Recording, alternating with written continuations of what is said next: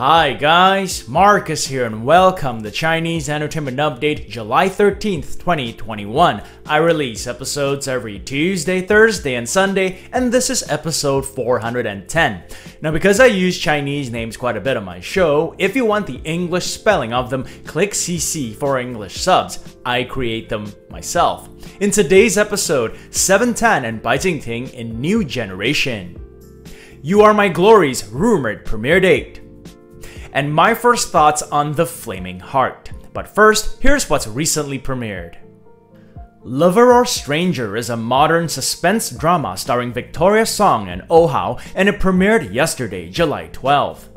It follows a young violinist played by Victoria Song who loses her memory after being involved in an avalanche.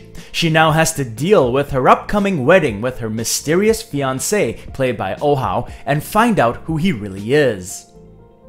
Sounds like something conspiracy, suspense drama fans might be into. The drama is slated for 29 episodes and is available on YouTube with English subs. My Fated Boy is a modern romance drama starring Sierra Lee and He Yu, and it premiered yesterday as well. It follows a career focused woman played by Sierra Lee. She's in her 30s and has known her neighbor, an overseas returnee in his 20s, since they were children, and has always treated him like a younger brother. Now that they're all grown up, brotherly love develops into romance. The drama is slated for 29 episodes and is available on YouTube with English subs.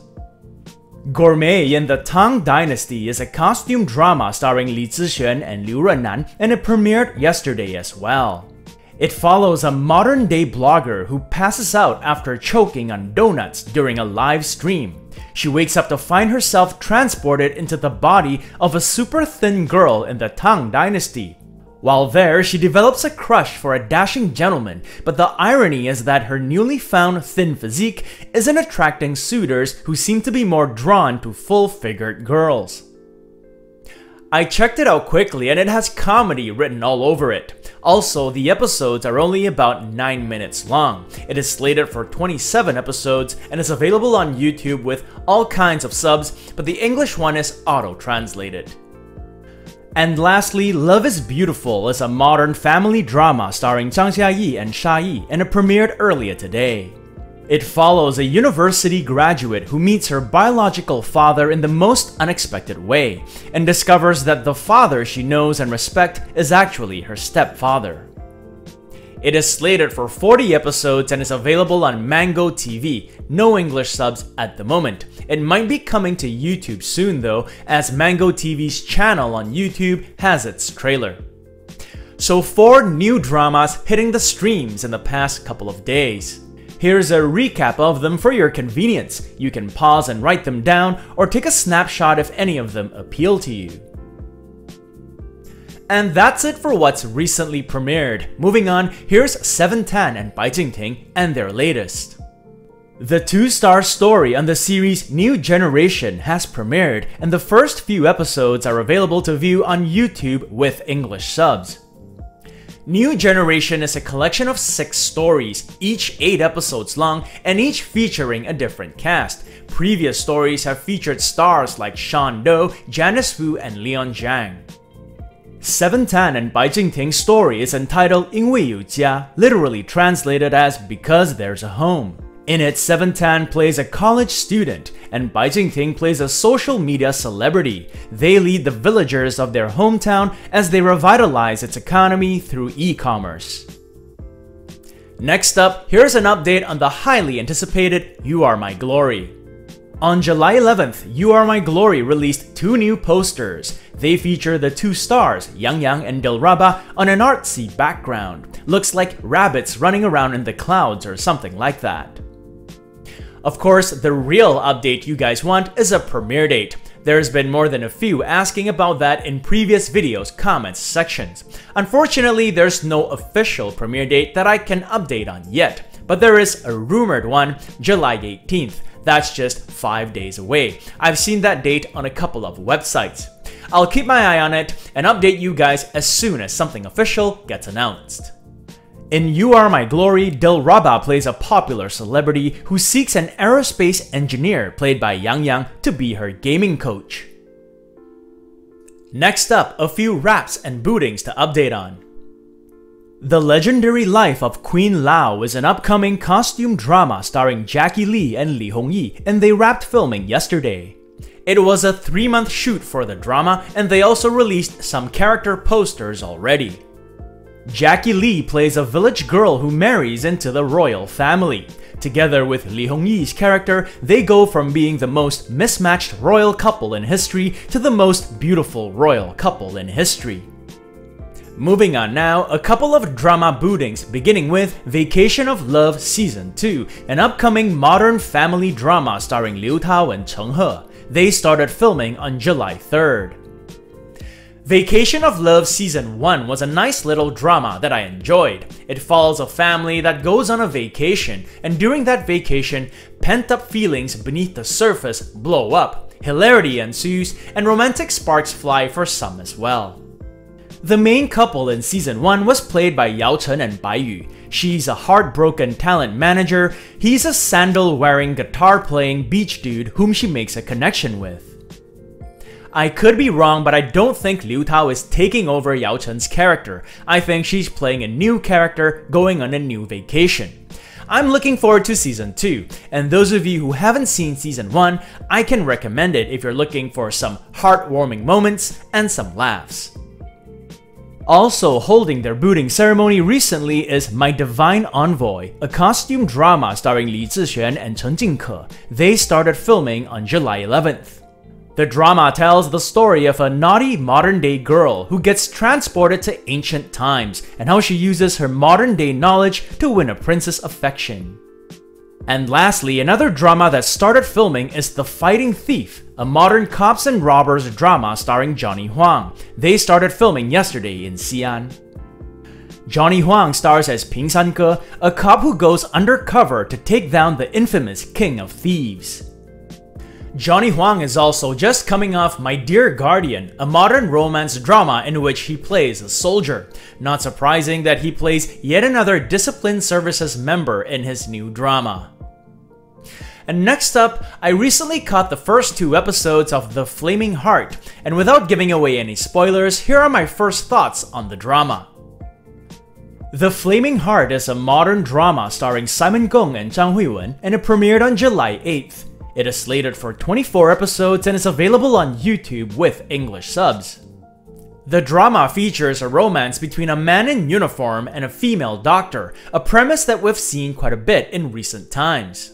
There's You Are My Hero with Sandra Ma Bai Jingting, and more recently, My Dear Guardian with Johnny Huang and Li Qin.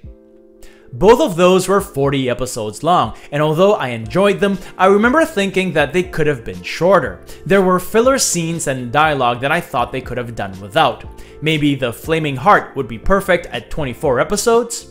Anyway, I don't want to jump too far ahead, but two episodes in and I'm indeed enjoying it. In The Flaming Heart, Simon Gong plays a firefighter who during an incident where he rescues a pregnant woman, meets Zhang Huiwen's character, a doctor from emergency services. They work together again when they're sent to an earthquake-stricken area for a rescue mission and start making a positive connection. After that, they return to their city where they find out that a highly infectious virus has broken out, something we can all relate to. Simon Gong is one of the most sought after drama actors these days. This is his second drama to air since coming off the overwhelming success of Word of Honor, and he's one of the main reasons I think this drama is so good so far. His portrayal of Huoyan the firefighter is spot on. He can be serious and dutiful when he needs to be, and charming and funny when the scene calls for it. Female lead Zhang Huiwen's portrayal as Yan the doctor is another reason why I'm enjoying this drama.